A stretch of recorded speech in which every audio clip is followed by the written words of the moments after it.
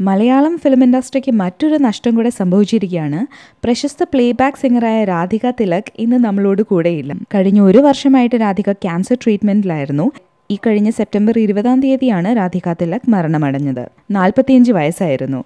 ഏതാണ്ട് എഴുപതോളം സിനിമകളിൽ രാധിക തിലക് പാടിയിട്ടുണ്ട്. സിനിമകളിൽ മാത്രമല്ല ലൈറ്റ് മ്യൂസിക്കിലും ഒരുപാട് കോൺട്രിബ്യൂഷൻസ് നൽകിയിട്ടുള്ള ഒരു സിംഗറാണ് രാധിക തിലക്. ദേവസംഗീതം നീയല്ലേ മായാമഞ്ചിലിൽ കൈതപ്പൂ മണം നിന്റെ കണ്ണിൽ വിരുന്നു വന്നു മഞ്ഞക്കിളിയുടെ മൂളിപ്പാട്ടുണ്ടേ. ഇതെല്ലാം രാധിക പാടിയ വളരെ ഫേമസ് ആയിട്ടുള്ള മലയാളം സോങ്സ് ആണ്.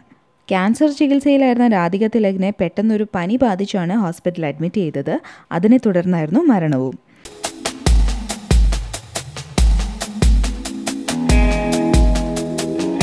അപ്പോൾ ഭയങ്കര സന്തോഷമുണ്ട്. നമ്മുടെ സിനിമകളെല്ലാം ട്രിവാൻഡ്രത്ത് എപ്പോഴും നല്ല റെസ്പോൺസ് ഉണ്ടാവാറുണ്ട് ഒരു സാങ്കല്പിക ഗ്രാമവും അവിടുത്തെ കുറേ മണ്ടന്മാരായിട്ടുള്ള കഥാപാത്രങ്ങളുമായിട്ടുള്ള ഒരു സിനിമയായിരുന്നു.